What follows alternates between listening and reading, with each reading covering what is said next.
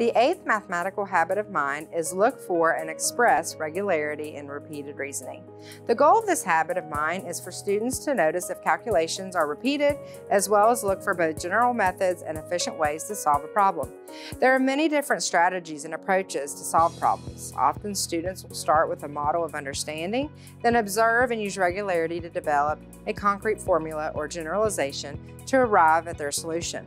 As facilitators of Mathematical Habit of Mind 8, we must give students the opportunities to explore regularity and repeated reasoning and understand why mathematical generalizations work.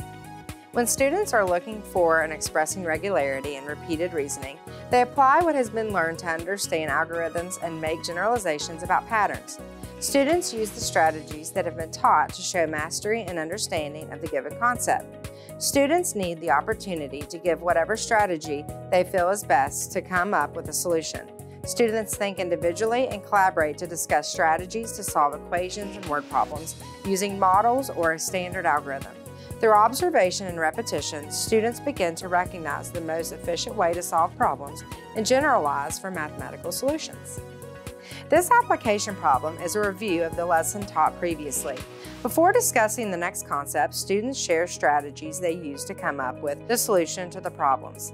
Hearing how other students approach a problem paired with their thinking provides students the opportunity to organize their thoughts and possibly add additional skills and tools to the mathematical toolbox to apply mathematical concepts.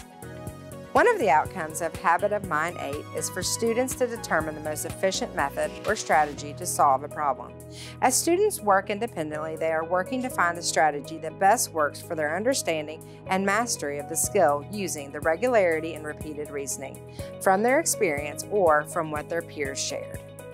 Providing opportunities for students to explore mathematics with a strategy that works for them and enabling them to share those strategies with peers Students look for regularity and repeated reasoning to understand algorithms and generalize. They will use various strategies to perform operations, explore visual models, and connect prior knowledge to formulate generalizations. Students become more confident in their work because they understand why the algorithm works. They appreciate the beauty of mathematics and now see the value of being able to efficiently solve a problem.